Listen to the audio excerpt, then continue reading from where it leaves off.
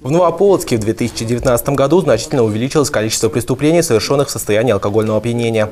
Из 368 зарегистрированных преступлений 100 совершены лицами в нетрезвом состоянии, а это около 34%. В прошлом году доля таких преступлений составляла 16%. В состоянии алкогольного опьянения совершаются, как правило, кражи, грабежи, разбои, хулиганство, причинение телесных повреждений различной тяжести, а также преступления в сфере семейно-бытового насилия, такие как угроза убийством, истязание.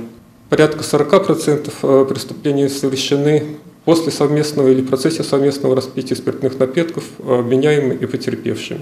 Рост совершенных в состоянии алкогольного опьянения преступлений в целом обусловлен ростом грабежей, хищений путем использования компьютерной техники, краж и превентивных преступлений в сфере семейно-бытовых отношений, которые, принципе, как правило, совершаются в состоянии алкогольного опьянения.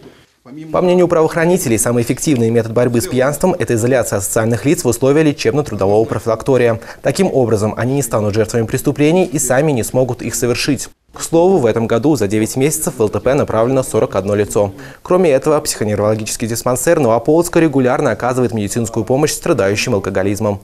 У каждого есть свои задачи, но э, необходимо взаимодействие. Взаимодействие правоохранительных органов, взаимодействие общественных организаций, общественных формирований и, естественно, предприятий, администрации предприятий и трудовых коллективов.